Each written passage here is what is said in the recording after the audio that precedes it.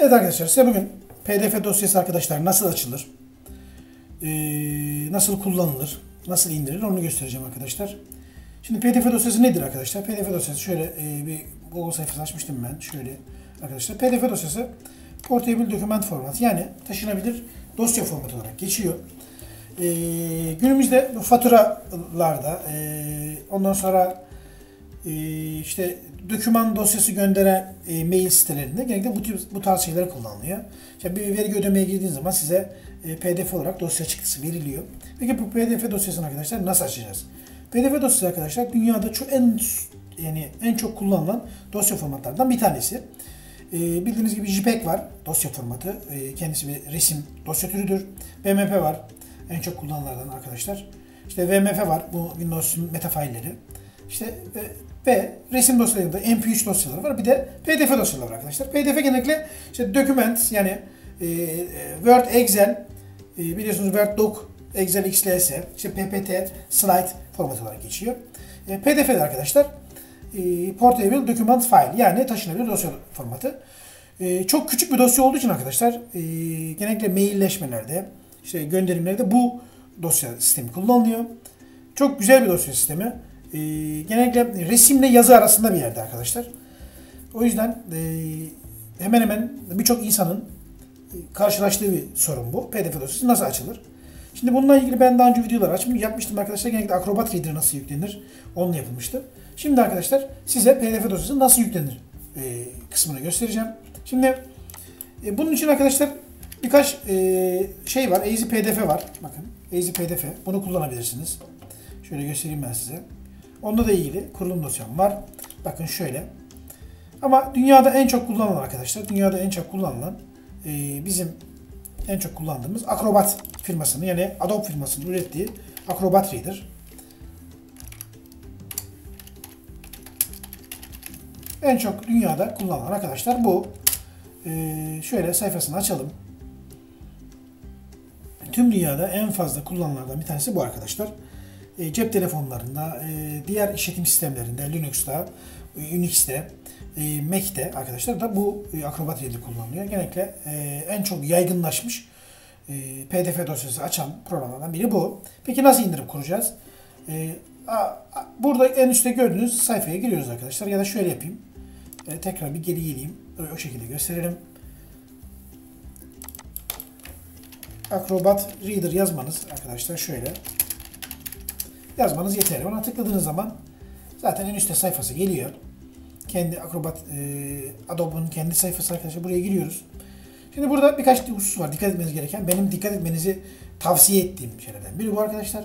Şimdi e, sizin sisteminizi otomatik olarak algılıyor zaten. Bakın alt tarafta yazıyor. Windows 10 İngilizce dilinizi falan sisteminizi algılıyor. Bir de arkadaşlar e, eğer burada yanlış algıladıysa bakın şuradan seçip bakın şu alt taraftan seçip bakın şu sol taraftan istediğiniz e, Windows 7 için mesela siz isteyebilirsiniz. İşte hangi dilde kullanmak istiyorsanız o şekilde de yapabilirsiniz. E, buradan değiştirebilirsiniz. Bir de arkadaşlar bakın şurada antivirüs ve bazı eklentiler kurmak istiyor. Ben bunları kurmanızı tavsiye etmiyorum arkadaşlar. Bunları kurduğunuz zaman bilgisayarınızda özellikle bu antivirüsle ilgili biraz yavaşlama oluyor. Ya da bilgisayarınızda farklı bir antivirüs varsa onda sıkıntı yaratabiliyor. Benim tavsiyem bunların ikisini kullanmamanız. Ya da arkadaşlar ee, bunları kullanmak istiyorsanız tabii ki işaretleyip indirebilirsiniz. Bir de arkadaşlar alt bölümde Chrome eklentisi var. Chrome eklentisinde Google Chrome'a ekliyor PDF dosyasını. Bir PDF dosyası indirdiğiniz zaman direkt Chrome üzerinden açabiliyor. Bunu e, bu kalabilir ama bu ikisini kullanmanızı tavsiye etmiyorum. Bunları işaretledikten sonra arkadaşlar bakın sağ tarafta Acrobat Reader'ı indir var. Acrobat Reader'ı indir dediğiniz zaman arkadaşlar 268 MB bir dosya. Bunu indirip kurabilirsiniz. Bir de Pro'su var arkadaşlar. Bu gördüğünüz gibi 7 günlük deneme süresi için e, yayınlanıyor. Aldığınız, e, indirdikten sonra arkadaşlar 7 gün kullanabiliyorsunuz. 7 günden sonra e, lisanslamanız gerekiyor. Fakat üst tarafta bakın e, Acrobat Reader DC. Yani bu ücretsiz. Bunu indirip kullanabilirsiniz. Ben de indiriyorum arkadaşlar. Bakın şuradan tıkladım.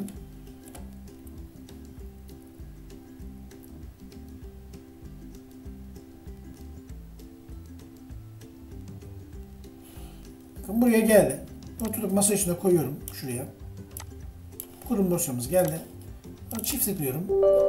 Ve güvenlik uyarısı verdi. Evet diyoruz. Ve kurulum ekranımız geldi. Gördüğünüz gibi üst tarafta indiriyor arkadaşlar. Önce indiriyor, sonra kuracak. Burada arkadaşlar genellikle e, Chrome olmayan bilgisayarda altta bir Chrome seçeneği de çıkabiliyor. Eğer bilgisayarınızda Chrome yoksa Chrome'u da kendi otomatikman yükleyebiliyor. İstiyorsanız o şekilde yükleyebilirsiniz ama ben sadece Acrobat Reader'ı seçtiğim için, oradaki seçeneklerden kaldırdığım için sadece Acrobat Reader'ı indiriyor ve kuruyor arkadaşlar. Biraz bekleyelim kurulumumuzu bitirsin.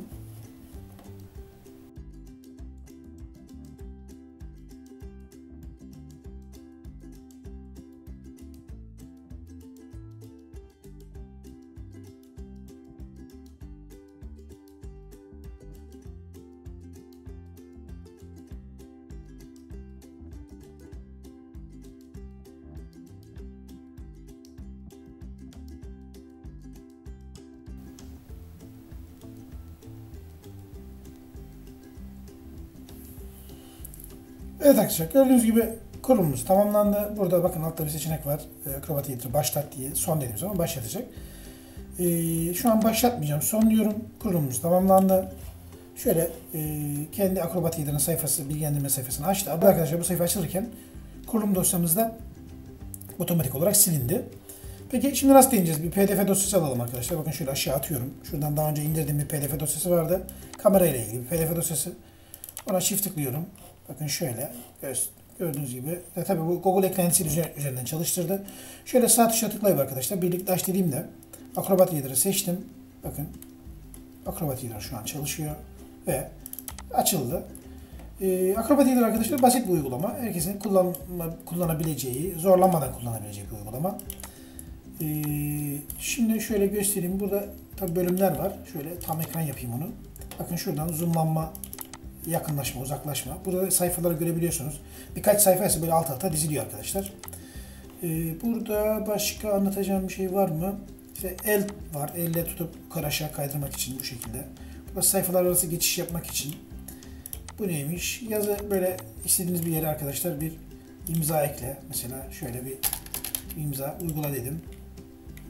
Bakın imzamı şuraya koyabiliyorum. Buradan istediğimiz gibi bu belgeyi imzalamış oldum. Ee, başka başka başka burada kapat dedim. Bakın şöyle. Bu imza ee, bunu tekrar. Bunu göstermiştim zaten. Tekrar kapat dedim. Şurada ne var? Bir kalemimiz var. Şuraya yazı yazmak istiyorum. Tıkladım. Şöyle. Şöyle yapayım. Yani boya seçtim. Boya yaptım arkadaşlar. Burada bir de text butonu da koyabiliyorsunuz. Bakın şuraya.